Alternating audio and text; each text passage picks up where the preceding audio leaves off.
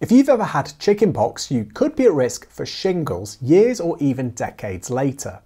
Shingles is a viral infection that causes a painful rash which can look like this. In this video, we're going to cover what shingles is, its symptoms, how it's diagnosed, treated, and importantly, how it can be prevented. So first of all, what is shingles? Well, shingles, also known as herpes zoster, is caused by the varicella zoster virus, the same virus that causes chickenpox.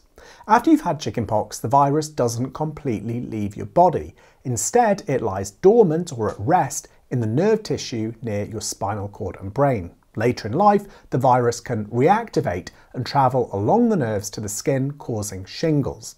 Now, shingles most commonly affects older adults or anyone with a weakened immune system, but it can happen to anyone who has previously had chickenpox.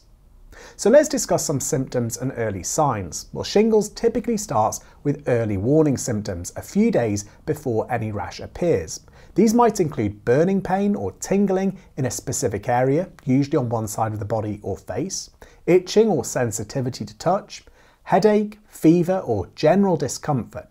Then comes the rash. Now, a shingles rash usually develops as red patches that quickly form into fluid-filled blisters, although the redness may not be there if your skin tone is darker. The rash often appears in a band or strip on one side of the body, most commonly on the chest, the abdomen or the face. Now the blisters eventually dry out and crust over, typically within 7 to 10 days. The pain, known as neuropathic pain, can range from mild to severe. For some people, the pain continues even after the rash has healed. Now this complication is called post-herpetic neuralgia.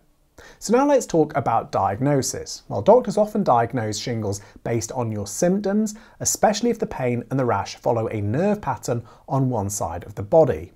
They will also do a physical examination of the rash, and in some cases, tests may be used to confirm the diagnosis, such as PCR testing or viral culture of the blister fluid, but most often it can simply be diagnosed by history and looking at the rash.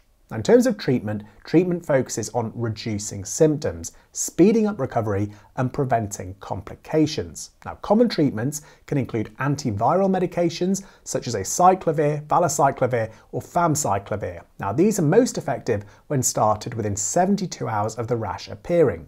Pain relief is important and that can include over-the-counter painkillers, prescription medications or topical creams that you apply and rub on.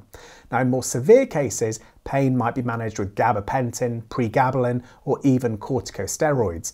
Most people recover within two to four weeks, but these more powerful pain relief should be only taken if absolutely necessary and for the shortest amount of time possible because they can be highly addictive. So now let's talk about some potential complications. Well, whilst shingles usually resolves, it can lead to some complications. The first and most important one is post-herpetic neuralgia, which is the pain that you can experience after the shingles rash has disappeared. Now this persistent nerve pain can last for months or even years. Another complication is eye involvement.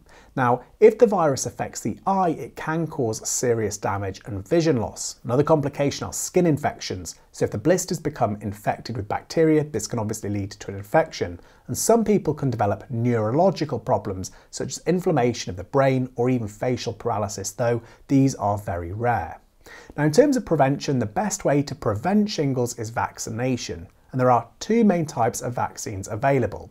Shingrix is the preferred vaccine recommended for adults aged 50 and older or for those with weakened immune systems, and it's given as a two-dose series.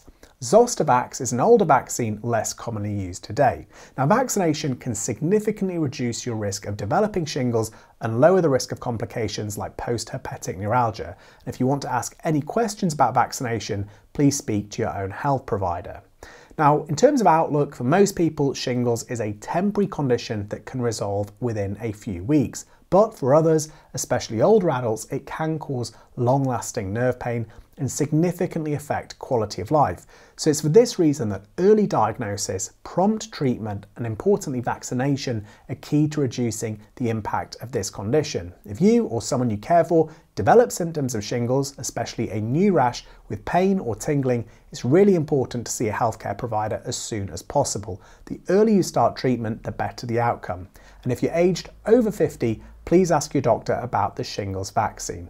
If you've got any questions, please do leave them in the comments section. And for more information on shingles, please check out the description box of this video for evidence-based and trusted information.